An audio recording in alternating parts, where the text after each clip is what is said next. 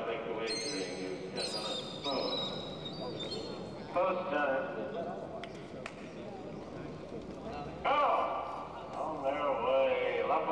outside gate, Mr. Exceptional, 2K. Triple two, on the outside, with the rail. A couple of hours adventure, General Shots last, wave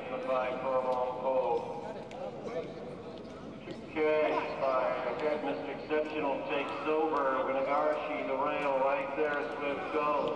Triple two, barreling up, compact lock. Winnegarshi, Mr. Exceptional.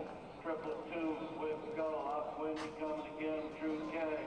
Queen Maddie, four to the trailer. General shot. Armless adventure, they're on the turn. Winnegarshi by half a length. Mr. Exceptional by two lengths. Lapo and 18 third by three lengths. Triple two, True Cash, Swift Go, General Shot, Armless